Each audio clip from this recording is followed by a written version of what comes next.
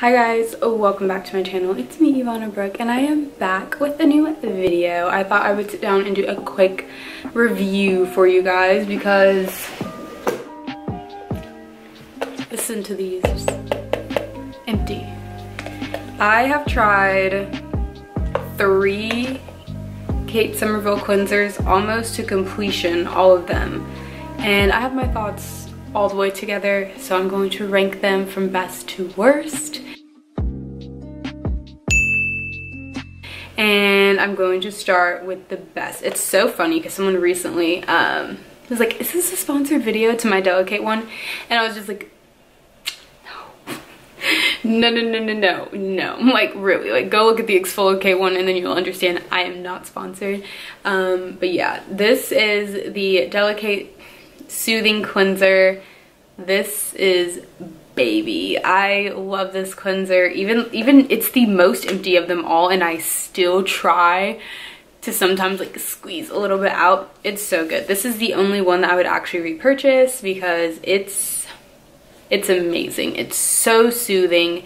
It it does everything you need it to do. It cleanses your skin, leaves it soft, fresh, plump, hydrated. It takes off your eye makeup without it like getting in your eyes or anything like that. It's it's it's such a good cleanser and it's so so so I wouldn't say underrated, but it's kind of like this is this is called a stress skin saver, but really it's it's so much more than that. Like it just keeps your skin balanced. It keeps acne away. Like that, my skin was at the, its best this summer when I was using this. So mm, I'm so sad that I don't have any more of this, but this is definitely the very best one. I think it's good for all skin types. I have oily skin and it worked amazing for me. I have oily acne prone skin and it still worked amazing for me because the more and more I um, have recurring acne, the more I realize I just need moisture. when in doubt, moisturize um, because to my next one,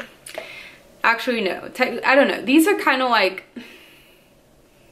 the same to me. Like they not the same as in they are the same product they're on the same level of how much i have like like give shits about if that makes sense. Like so the ExfoliKate cleanser is the one i tried after the DeliKate and i think this is kind of what effed me if I'm being honest. I just think it's a bit too strong for AM and PM use. Using this twice a day for however long I used it, I think just wasn't right for my skin.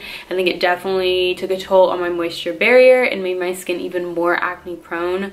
Um, I think it's nice. I just don't think it's good for every day. That's really it. Like, I don't think it's a bad cleanser, but I think it does promote over exfoliation because it does tell you to use it morning and night. And it's just it's just it's just a little too harsh in my opinion.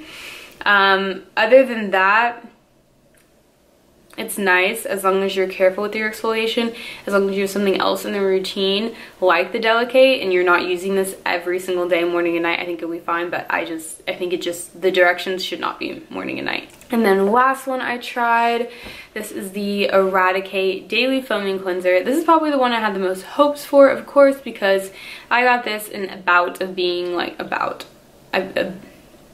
during a, a, time when I had really, really bad acne and I still am struggling with it and it just, it didn't do what I needed it to do, to be honest. I think it's too harsh for acne. Um, it has a 3% sulfur, which is supposed to prevent um, blemishes and draw out impurities. I think the entire, like, okay, I've tried two things from the EradiKate line. Let me back it up. Let me slow my roll. So I also tried the foaming mask, which I'll review in a separate video, but I just, I think if anything, this is good for like, yeah, drawing out impurities. It's good for purging, but it's not really going to do anything for your acne um, as far as treating it. So for that, I just found that a little bit misleading and it also smells so bad. Like this is just, it smells like sulfur, of course, because there's sulfur in it, but it just lingers like no other and it, it gets on your clothes. You just smell like it all day. So I'm just, I just don't really think it's worth the money. These do retail for, I believe, 36 to $38 each, just under $40 for four fluid ounces. So you're paying literally $10 for each fluid ounce. So if there's one of them that's worth it, it's definitely the DeliKate. The other ones I would just be more wary of and wouldn't wouldn't really use as directed because I do think they are a bit too strong um, for most skin types because I have elephant skin. Usually it takes like, like nothing can penetrate it, but this, these got me. I'm gonna be honest, they got me. So um, I'll probably definitely be getting the DeliKate again in the future, but as for the other ones, I don't think they're worth your money. And I hope you guys enjoyed this review. I want to make it nice and quick, and I will see you in my next video. If you like this one, don't forget to leave it a like. If you like me, don't forget to subscribe. And if you want to see more of me, you can always check me out on my Instagram, Yvanna Brooke. Bye.